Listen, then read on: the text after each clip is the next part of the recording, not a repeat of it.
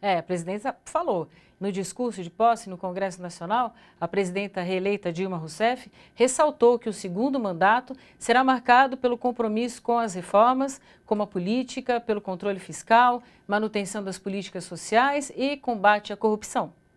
Em discurso de mais de 40 minutos, a presidenta Dilma Rousseff fez um balanço dos avanços socioeconômicos no país e se comprometeu a ampliar as conquistas com participação popular. E dedicou grande ênfase à educação. Nosso lema será Brasil, Pátria Educadora. Trata-se de lema com duplo significado.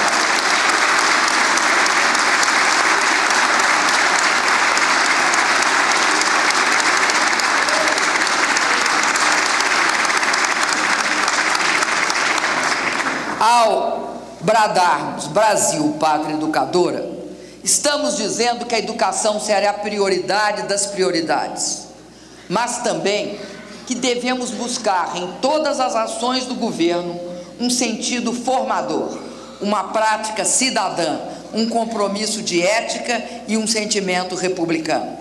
Só a educação liberta um povo e lhe abre as portas de um futuro próximo. A presidenta disse que vai adotar medidas econômicas com ajustes fiscais e contenção dos gastos públicos para o Brasil continuar crescendo com a inflação sob controle, mas sem prejuízo para os programas sociais.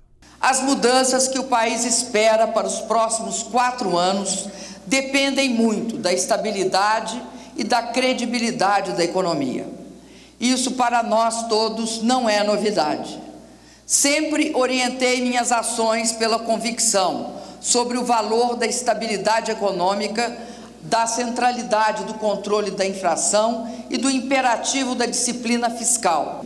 Tudo isso voltado para o que é mais importante e mais prioritário: a manutenção do emprego e a valorização, muito especialmente a valorização do salário mínimo. Dilma Rousseff também deu prioridade para o combate à corrupção e afirmou que o governo vai aumentar o controle da Petrobras para livrar a estatal de inimigos internos e externos.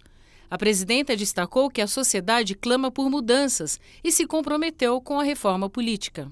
Democratizar o poder significa lutar pela reforma política, ouvir com atenção a sociedade, os movimentos sociais e buscar a opinião do povo para reforçar a legitimidade das ações do Executivo. A corrupção deve ser extirpada. O Brasil sabe que jamais compactuei com qualquer ilícito ou mal feito.